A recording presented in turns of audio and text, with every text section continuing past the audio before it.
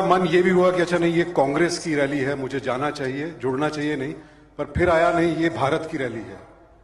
भारत जोड़ने की बात हो रही है। तो ये बहुत ज़रूरी है। नफरत तो बहुत सारे लोग फैला रहे हैं, और प्यार की राह थोड़ा मुश्किल होती है भाई। आपने चुन ली है, और बहुत मुश्किल है।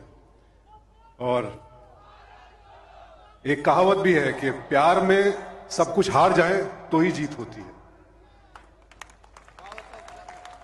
तो कुंवर नारायण जी की एक पंक्तियाँ आज सुबह ही पढ़ रहा था, एक किसी भाई ने ट्वीट की थी कि जब तुम अपने मस्तक पर बर्फ़ का पहला तूफ़ान झेलोगे और कांपोगे नहीं, जब तुम अपने मस्तक पर बर्फ़ का पहला तूफ़ान झेलोगे और कांपोगे नहीं, तब जानोगे कि कुछ फ़र्क नहीं है सब कुछ जीत जाने में और अंत तक हिम्मत न हारने में।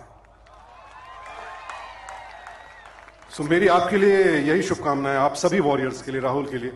और हाँ हार जीत में जीत ज़रूरी है पर अंत तक हिम्मत ना हारने की जीत होगी क्योंकि अंत में जो लोग इस देश को संविधान से चलाना चाहते हैं जीत तो उन्हीं की होगी आज नहीं तो कल।